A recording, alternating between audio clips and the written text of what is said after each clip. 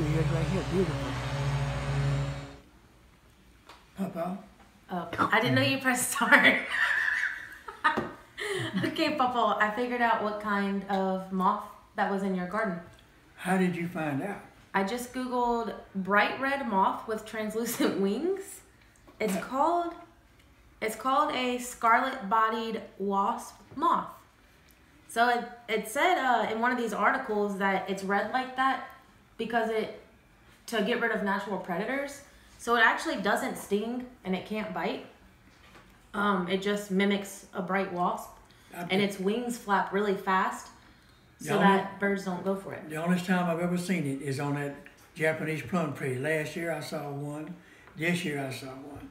That's the only time I've ever seen it. I have no idea what that is. Well, uh, let me go find the map, but they're only native to like North America and parts of Mexico, and it's like a really tight band, like on the southern states. Right And on then- the Gulf. And they said every now and then they find them on the coast in California, but uh, mostly just here. One of the articles said they were pretty rare. I can believe it. That's the only two I've ever seen. Didn't you say, Aly, that um, there's a place to even say you spotted one?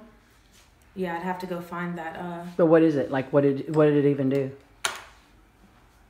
uh, there's not that many cited, s- like confirmed sightings. show, show that picture. So that map, and then some of Mexico too. Try not to shake. Got it. Wow. That's rare. That thing's rare. I wish I could. I I wish I could catch it and breed it. Huh? They actually. I would love to breed it. I'm not kidding you. You know, get, Well, now you know what the the larva and stuff looks like, so you can look yeah, out for them. I'll be real careful on those lavas now. They said uh they were gonna use those moths. There's a it's called mile a minute vine. Do you know what that is? Mile a minute vine. Not really. I think that's come out of China. That vine did. I'm not sure. Okay. Well, they said for a while they were thinking about using these moths to control the spread of that vine somewhere because they eat. Uh, let me go back and recheck. Well, the- the only thing I've ever seen him on that is that uh, Japanese plum tree, and he loves that tree. He's all over it. Every day, I, every, now, twice I've seen him yesterday and today out there.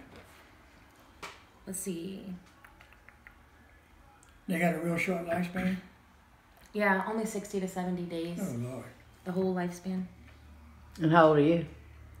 81. Not yet. In about three or four, five weeks, ten weeks. No, the 13th of December, four weeks. I got to ask Mama's permission. To turn 81? Yeah. Yeah, mama. So they eat. Um, mostly it's called Florida Keys hemp vine. It's a climbing vine or hempweed, but that's their main source of food. Hemp. Is it opium? Hemp? I don't know. No, that's just the name of the of the plant. It, the plant looks like this. The leaves of it. I'm not sure what it is. It's just called a hempweed. Okay, that's another five minute video. That's good. Right mm-hmm. there.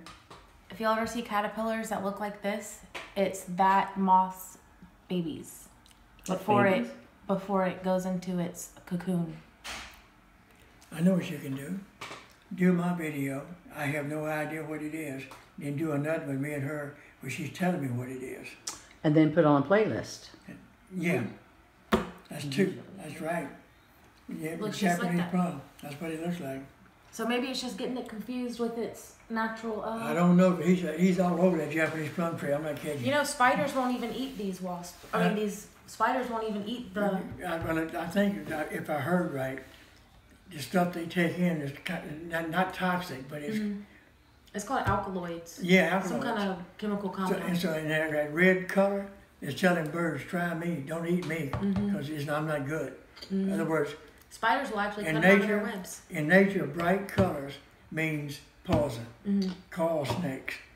Uh, the uh, poison arrow frog, Mm-hmm. they're brilliant colored. It means leave me alone. But I don't think they're actually poisonous. But whatever No, they do it's toxic. eat, toxic, yeah. Yeah, I mean, you can handle They them, it can't- won't hurt you. yeah. Eat them, you get sick. What about what do the spiders do, Aly? The spiders will actually cut the um the red moths out of their webs, especially the males. The females don't make as much as the alkaloid compound as the males do, but whenever the whenever they're mating, the males release filaments onto the females. And after those filaments are released, then the spiders will cut the females out of their webs too. As you enjoy a, The three Milky Way. That's nature. a three musketeers. That's evolution. Mm-hmm. Evolution. Good night, y'all. Hey, Dan. Love you, Papa. Love you too, baby. You like my pom poms? Like my pom poms? I do. Go Tigers. Yeah.